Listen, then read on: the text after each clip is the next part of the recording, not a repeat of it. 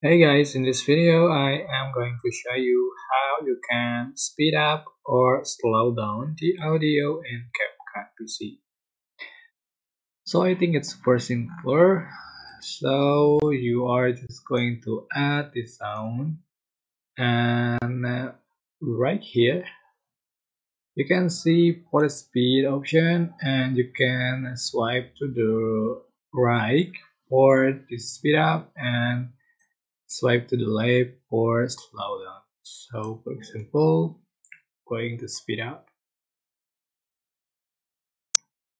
You can Alright, this is the original sound. You can see. I'm just going to slow down.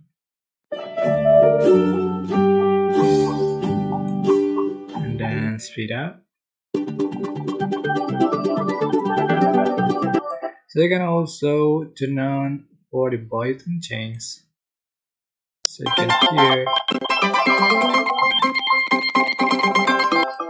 Right, that's it.